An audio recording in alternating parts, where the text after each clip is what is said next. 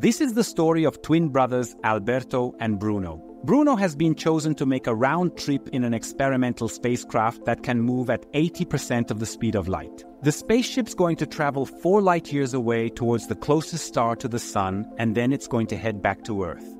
Both Alberto and Bruno know Einstein's theory of special relativity, and they understand that traveling at high speeds affects how time passes. This is one of the main predictions of the theory of relativity, which has already been validated by various experiments. So the two brothers, separately, decide to calculate how long the journey will take for themselves and how long it will take from the other brother's point of view. Alberto, staying on Earth, figures that the trip, which is going to cover 8 light years at 80% the speed of light, will take about 10 years from his point of view. But because of special relativity, he figures that time is going to slow down for his brother Bruno. And crunching the numbers, he figures out that his brother is only going to age 6 years on a trip that for those left back on Earth should have taken just 10 years. So for Alberto, his brother Bruno should land on Earth 4 years younger than him. But now let's see what's going down from Bruno's point of view. Bruno's on the spaceship, moving with it. From his view, it's Earth zooming away at 80% the speed of light. And then it approaches him again at 80% of the speed of light on the way back. Just like when you're in a car, it feels as though it's the streetlights passing by, not you. Bruno does the same math as Alberto, and from his point of view, it's the Earth that's to travel for 10 years. And that leads him to another conclusion. When the trip's over, it's indeed Alberto who's going to be four years younger than him. The two brothers came to entirely opposite conclusions. One of them has got to be wrong. There's simply no way they can both be four years younger than each other. Who is wrong? And where's the mistake exactly? That's the twin paradox. But to truly get what's unfolding, we first gotta dig a bit into special relativity and comprehend why time seems to slow down as you speed up. Hey, Pedro here. This video you are watching was originally in Portuguese, my native language. This is the attempt of our team to translate it to English, and I sincerely hope you enjoy it. Your feedback is extremely important to us. Now, back to the video. Explanations of restricted relativity on YouTube, including mine, tend to focus on this strange and less intuitive aspect of distortions that occur in time and space due to high speeds. Because honestly, this is one of the most surprising aspects of the theory. But Einstein's relativity began with an article in 1905 about a completely different problem.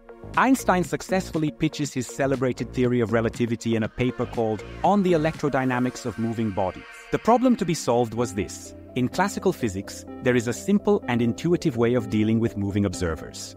For example, if you're stationary, I'm in a car going 20 kilometers per hour and I'm overtaken by a motorcycle going 30 kilometers per hour in relation to you, what is the speed of the motorcycle in relation to you who is stationary? The answer, of course, is 30 kilometers per hour. How fast is the motorcycle in relation to the car? The answer is only 10 kilometers per hour. We've got to subtract the car's speed relative to you to accurately figure out what the motorcycle's speed is in relation to the car. Otherwise, how fast you're measuring depends on both the speed of the object being measured and the speed of the person doing the measuring. Classical physics had clear rules for changing perspectives, shifting the frame of reference from which you viewed an event. But the rules for changing reference in classical physics fail when we try to use them to describe the movement of electric and magnetic fields. Even though we knew about the properties of electric and magnetic fields in a stationary lab, we couldn't describe those fields once they started moving. So, in his 1905 paper, Albert Einstein proposes a new rule for transforming reference frames, which works for electromagnetism. In situations of low speed, as is the case with most objects moving on Earth, Einstein's rules are roughly the same as the old rules for changing references in classical physics but at speeds close to that of light, or if electromagnetic fields are involved, we need to use Einstein's rules to change the point of view correctly. Space contraction and time dilation are consequences of these new rules that Einstein proposed. And the twins paradox comes out of those consequences. To get why space and time turned into something relative in Einstein's relativity, we gotta grasp the two principles of the theory. The first principle is called the principle of relativity. Here's what it says. The laws of physics don't change for observers moving at constant speed. In other words, the equations and principles that describe nature are the same for someone standing on the ground, for someone moving on a train, or for someone in a spaceship at very high speeds. And that, of course, as long as the speeds remain constant or roughly constant, meaning you simply can't have any form of acceleration involved in this scenario. What Einstein means by that is this. Speed is all about who's watching, and electric fields are too. But the rules for describing motion, or the ones for electric fields, are always the same. They always look the same. Force equals mass times acceleration for all observers with constant velocity. Regardless of speed, Maxwell's four equations describe electromagnetic fields both for me, standing here on Earth, and for someone in Andromeda moving at 100 kilometers per second relative to me. The math of any non accelerating observer has to match up with that of any other non accelerating observer. And then, this is the principle the twin paradox seems to break. The two brothers had different results using the same physics laws. This shouldn't be possible, and it isn't. One of the brothers made an innocent mistake in the math. But to get this, we're going to need the second principle of special relativity, which is the speed of light principle. The speed of light in a vacuum is constant, and it's always precisely the same, no matter who is measuring that speed. 299792458 meters per second, very fast. In other words, the speed of a motorcycle varies depending on who is doing the measuring. For you standing still, it is 30 kilometers per hour. For me in the car is 10 kilometers per hour. But the speed of light is the same for me, for you, and for the person on the bike. And what's more, it doesn't matter what made the light. The speed of light coming out of your phone is the same as the speed of light coming from a car's headlight or a motorcycle's headlight. The speed of light in a vacuum is constant and absolute, no matter who's observing, and besides, it represents a cosmic speed limit that cannot be surpassed. No object with mass can move faster than light. And here we've got a really good question. If the speed of everything changes depending on who's looking, then how come the speed of light stays the same? Einstein's trick to make the speed of light not depend on the speed of the observer was to make both time intervals and distances in space depend on the speed of the observer. And we'll start by understanding how distances in space change according to speed. Let's imagine you're watching a person throw garbage out of a car. Yeah, terrible, don't do it. The car tosses a piece of paper out onto the ground under the driver's window, then it rolls 10 meters and tosses another piece 10 meters away. For you, outside the car, every piece of paper is like 30 feet apart from each other. But if we switch gears and look at it from the driver's point of view, they always see the trash getting tossed right out their window. The relative distance from the point where the trash was thrown is zero for the car driver, because both balls were thrown at his window, and the car window doesn't move in relation to the driver. How far apart two events seem depends on the observer's speed. This applies to both classical physics and Einstein's relativity. In classical physics, both you and the driver concur on distance measurements. For example, if you're holding a 1 meter ruler, the driver will perceive it as 1 meter long as well. If you measure the final distance between the balls of paper, they will appear to be 10 meters apart, and the driver of the car would agree with you. Now, Einstein's new transformation rules don't keep that invariance in distance measurements. Movement makes the distances themselves shrink. A driver in a car will think their 1 meter ruler is less than 1 meter. If the driver was cruising at 80% the speed of light, he'd definitely get pulled over. But besides getting pulled over, a 1 meter ruler would look like only 60 centimeters in his perspective. Likewise, brother Bruno, who's cruising at precisely 80% the speed of light towards a distant star 4 light years away, would feel like that distance got shrunk down to exactly 2.4 light years. Observers in motion have the impression that distances to stationary objects shrink. This is the contraction of space, and something similar happens with measures of time.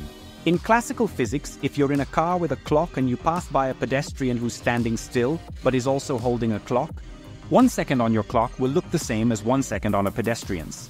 But in Einstein's relativity, one second for you, in motion, will seem less than one second on the clock of the stationary pedestrian. If you were cruising at 80% the speed of light, one second to you would feel like it's dragging 60% slower. The pace of stopped clocks seems to indeed slow down when you're moving relative to them and the way to determine exactly how time and space intervals transform is to use the second principle of relativity. The speed of light is constant and absolute for all observers. So the effects of time dilation and space kind of balance each other out. In a way that you always measure the exact same speed of light in a vacuum, no matter if one meter turned into 60 centimeters and one second turned into 1.66 seconds. What the effects of the dilation of space and the contraction of time have indirectly led to are Einstein's rules for changing points of view in relativity, and these rules are called Lorentz transformations. If Alberto, who stayed on Earth, wants to figure out how long the trip's gonna take for his brother, who's cruising at 80% the speed of light, he needs to crunch the numbers on time dilation and length contraction at those speeds. And the conclusion he's going to come to is that what feels like 10 years on Earth is going to feel like only 6 years on the spaceship, because the distance it covers is shorter due to the high speed and space contraction. And the same for Bruno, who needs to think his brother Alberto, pulling away at 80% the speed of light on the way out, is coming back at him at 80% the speed of light on the return. The movement is still relatively the same, and because of time dilation, only six years will have passed on Earth for the 10 years he appears to have traveled. So, both Bruno and Alberto are going to think their brother should be exactly four years younger when he gets back. But honestly, that's just not possible. So, how do both of you end up with this paradoxical outcome? It's worth mentioning the principle of relativity here. Two points of view, moving at a constant speed, will invariably agree on their outcomes. The fundamental laws of physics hold up consistently, whether you're leisurely chilling on Earth or smoothly cruising at 80% the speed of light, as long as you're moving at a steady pace. So, who's in the wrong? Go ahead, try to think for yourself while I tell you the story of this problem. Pause the video, drop a comment below on who's in the wrong, Alberto or Bruno. This paradox was first laid out by Paul Langevin in an article called The Evolution of Space and Time.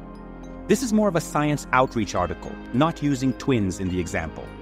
The real puzzle at the heart of the twins paradox is this. If we send a clock far away at high speeds, and then it does a U-turn and we bring the clock back to Earth, what's going to be the time difference between this traveling clock and another one that stayed put on Earth?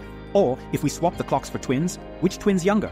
Was it Bruno who left, or Alberto who stayed? The answer, surprisingly, is that Bruno's actually going to finish younger, and he's also the one who's going to mess up the numbers. But how? Well, there seems to be a problem from Bruno's perspective. He needs to go, turn around, and then come back. And it's in that brief half turn that everything changes. Turning the ship means accelerating. The first principle of relativity only guarantees that the laws of physics are the same for observers at constant speeds in relation to others. Having to turn the ship means breaking this rule, if only momentarily. This means that Bruno would need to take this acceleration detail into account when he makes his time estimates which isn't easy and isn't very obvious either. So the fact that Bruno accelerates in the example means that he's not a suitable observer for the whole trip. Then his math will be wrong. And this was the solution that Langevin himself gave to the twin paradox when he first proposed it. Conceptually, it's correct. But in practice, it's not an ideal solution.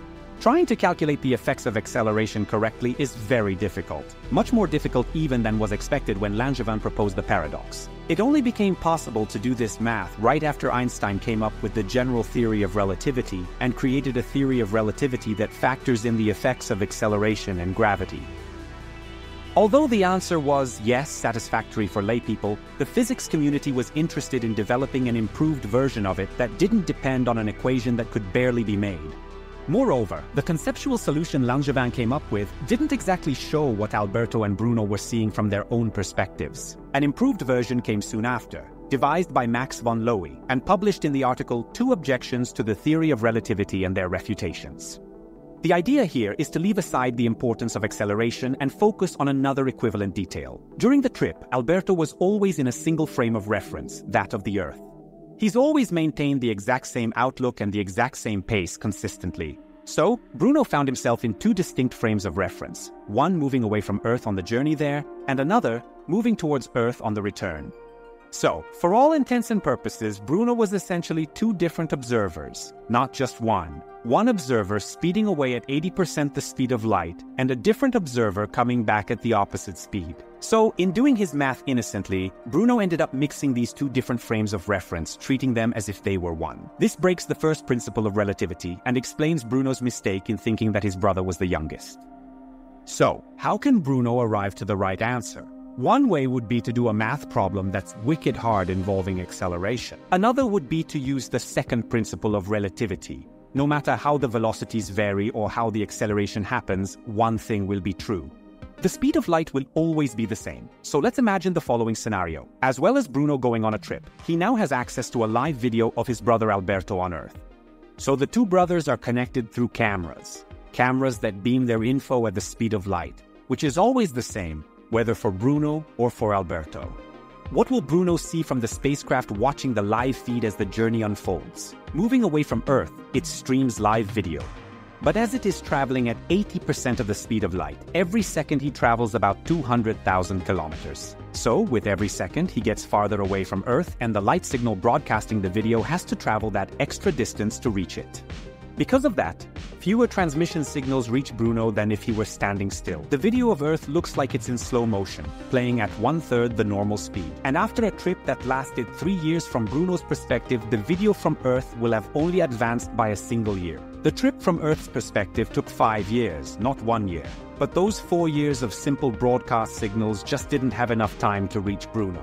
They're still on their way. He only found out about the first year since he left Earth, even though he traveled for three years from his point of view.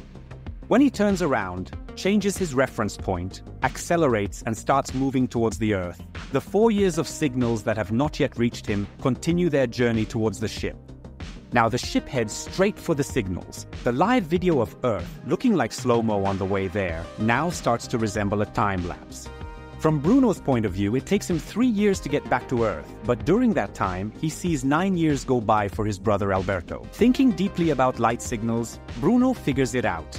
Ten years go by on Earth, while six years pass by for him. Bruno will be the younger brother for four years. The error of the twin paradox lies in not being careful with the first principle of relativity and forgetting that changes of reference need to be taken into account. The right way to think hinges on the principle that the speed of light is constant, which is the second principle of relativity. And that's why the twin paradox is indeed such a quintessential paradox for relativity. It essentially embodies and exemplifies the two principles at the heart of the theory, just as it was laid out by Albert Einstein in 1905. The twins paradox lays out the right way to think about relativity, and that way is indeed to think with light. Thank you very much and see you next time.